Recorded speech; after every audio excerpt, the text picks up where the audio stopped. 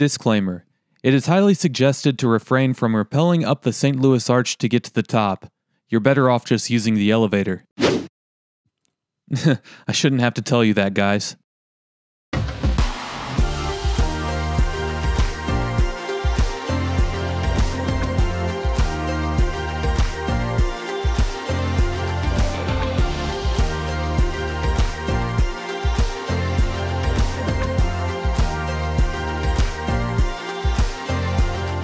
Downtown St. Louis is one of America's most forgotten places, probably because of the crime that goes on on the north side of the city, and how the St. Louis metro area has been the meth capital of the U.S., and that seems to be the only attention that the city gets nowadays. There are some really awesome things about downtown St. Louis, though, and it's definitely a place that you should visit when you get the chance. And hopefully, this video will show you why.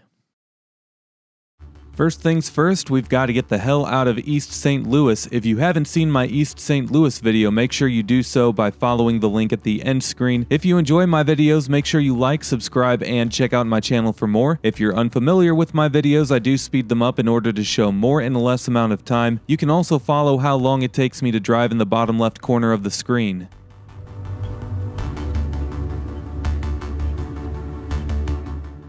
The Eads Bridge opened to traffic in 1874 and is the oldest bridge in the area over the Mississippi River. Other old bridges were built north of downtown St. Louis, north of the Missouri River, where the river was more narrow, but the Eads Bridge is the only one from that era that's still standing. You're saying, wait, what? You're saying that that's a this is a 145 year old bridge?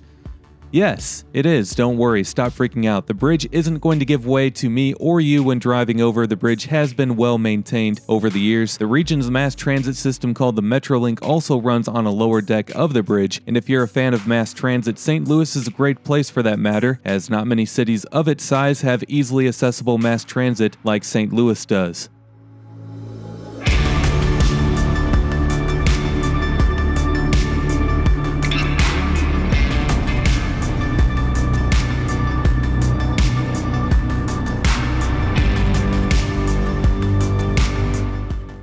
To the right is America's Center. It is St. Louis's downtown convention center. More on that later. We are now in the Washington Avenue Historic District, home to early 1900s architecture. The city has done a nice job redeveloping this district as well, and that process started in the late 1990s. Today in 2020, this looks like a popular place to go out and get hammered.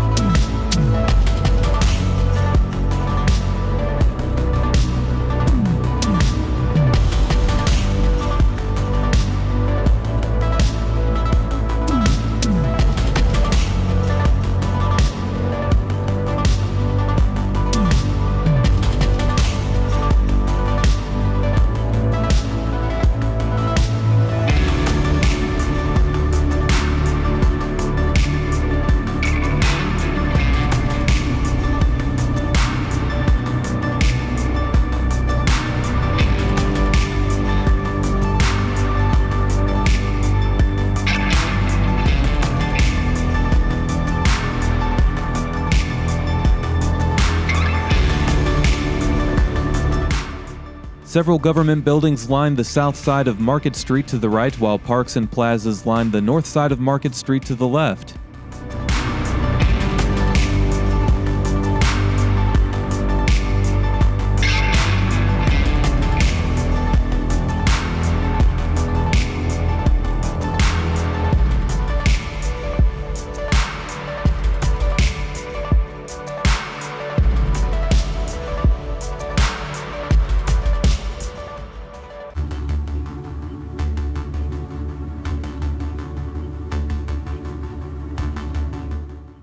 St. Louis isn't necessarily known for the height of its skyscrapers, however, the St. Louis Arch obviously makes the city skyline one of the more recognizable in the country. The St. Louis Arch is 630 feet tall, making it the tallest memorial in the United States. The tallest building is one Metropolitan Square, which is only 598 feet tall, which is not very tall for a skyscraper.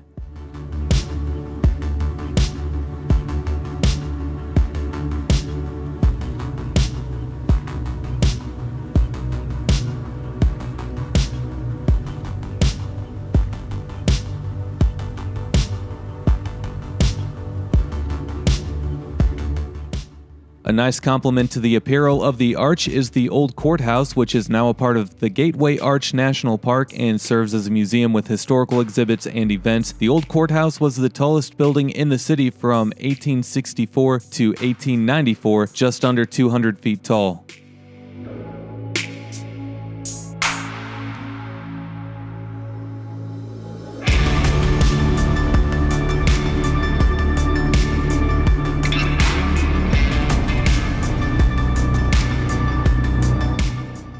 Construction of the St. Louis Arch was completed in 1965. If you haven't had the chance to go up the arch yet, you're missing out. The St. Louis Arch alone is a huge reason to come to St. Louis, and if you like a free zoo, museums, and walking along Washington, D.C. style plazas, there's plenty more for you to do as well. Doesn't hurt to go to a Cardinals game at Busch Stadium either.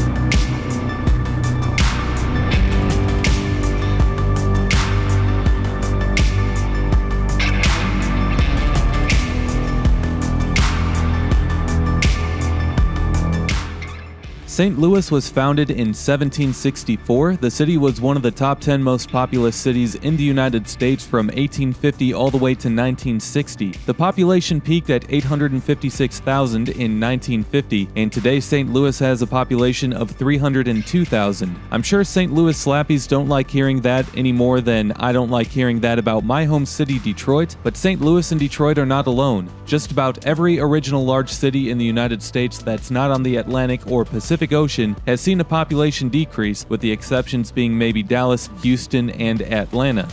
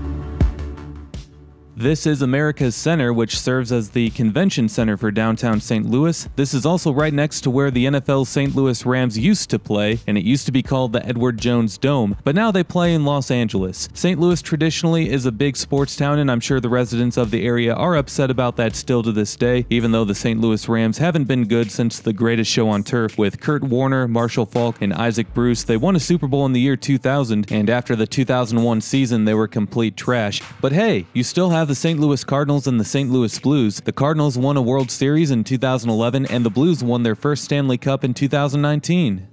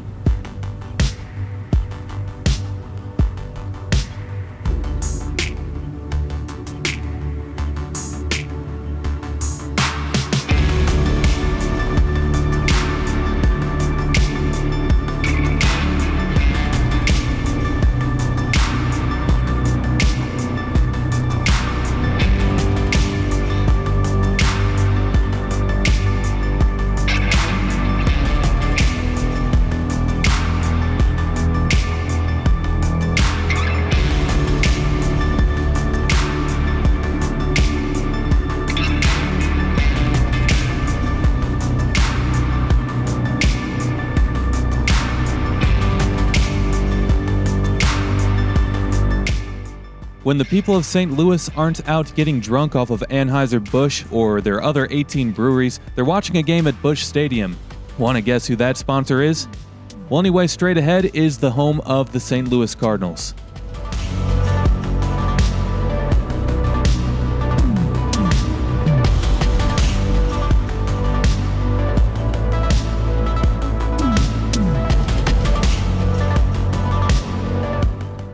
Earlier I mentioned that St. Louis doesn't have extremely tall buildings. It definitely doesn't. Downtown St. Louis really does look like a cool urban center though, unlike some of the recent boom towns. You have a dense look of buildings throughout downtown St. Louis which might look to be an expansive area for a city of only 302,000 residents. The reason for why downtown St. Louis covers more land area than a city with a population of more than twice its size, such as Indianapolis, is because St. Louis has a bigger metro area, and it had 856,000 residents in 1950. It used to be the nation's fourth largest city, and it was one of the nation's top 10 largest cities for over 100 years. St. Louis was a large city way before cities like Austin, Texas, Indianapolis, or Columbus, Ohio ever came close to being. St. Louis still has a larger metro area than all of those cities as well, and when it comes to TV and radio market size, they rank cities based off of the metro area, not the city limits. Therefore, you're going to get more of an urban vibe in these older cities like St. Louis than the newer cities that started growing when suburban expansion was more popular than building up. Don't discount the metro size when you think of some of these cities. That can tell you more about an area than just the stats of an inner city.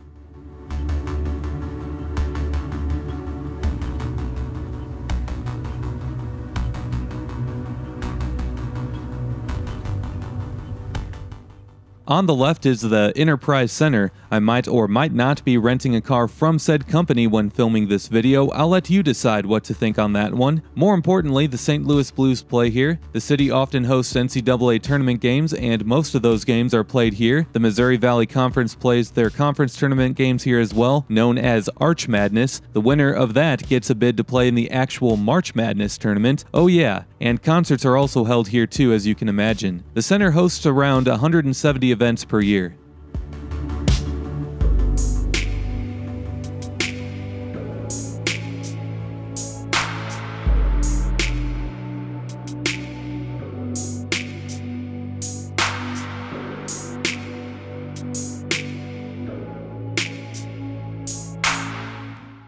The newest attraction to downtown St. Louis is the St. Louis Aquarium, which opened just before 2020, which was about four months prior to filming this video. If you have visited this aquarium, make sure to leave a comment below and let us know what it's like. Along with the aquarium being new, there's also two new high rises being built that are over 300 feet tall as I speak.